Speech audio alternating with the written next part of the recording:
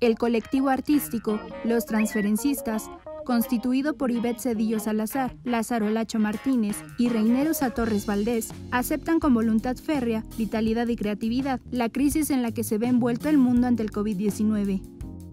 Y sabes que es muy complejo sobrevivir en el mundo del arte, fíjate. Esto empeora la cosa. Claro, nosotros nunca nos ha interesado. Tenemos una visión muy particular, que es que atraes lo que eres. Hasta ahora eh, hay alarmas, pero no vamos al plan B, seguimos en el plan A, eh, que no es sobrevivir, es aún ejecutar, ejecutar y atraes lo que eres.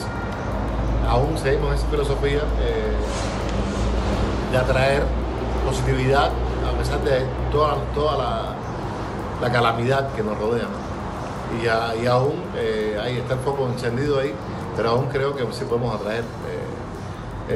Aún hay gente preocupada por, y, creo que puede ser peor, que no, eh, porque en este momento estamos en un intermedio y yo creo que es un problema de cómo, cómo lo mires.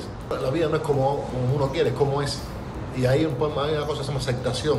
Si tú inteligentemente no aceptas lo que está pasando y no te incorporas con voluntad, una voluntad férrea, positiva, vas a hacer, una, vas a hacer un problema, no una solución. Y es un momento de soluciones. ¿no? Los transferencistas hacen hincapié en sus principios de salir adelante en lo colectivo, no en lo individual, con unidad, colaboración, intercambio y diálogo.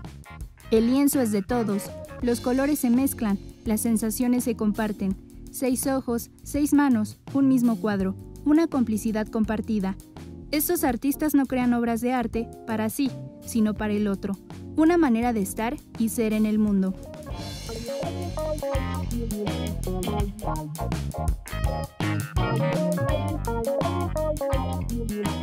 La libertad en la creación es lo que los distingue. El colectivo ve una oportunidad en esta pandemia para seguir pintando y expresarse a través de diversas disciplinas. Saben que la salvación está en lo colectivo, esa colectividad que nos hará falta en cuanto demos vuelta a esta página. Un creador es creador, tenga o no tenga nada. Es más, si no hacemos body painting, desnudos, vamos a danzar. Porque para danzar no hace falta economía. ¿no?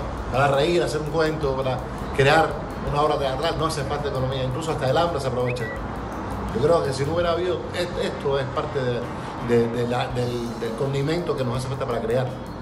Esto nos genera a nosotros eh, una, posibilidad de decir, no de callar.